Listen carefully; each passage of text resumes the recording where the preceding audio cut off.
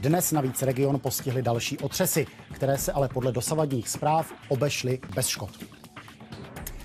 V Ramaláhu začala demontáž hrobky Jásira Arafata. Koncem měsíce má být tělo palestinského předáka exhumováno, aby se zjistila příčina smrti a aby se vyloučilo nebo naopak potvrdilo podezření na otravu plutoniem. Proč zemřel Jásir Arafat? Otázka, kterou 8 let od jeho smrti nedokázal zatím nikdo zodpovědět.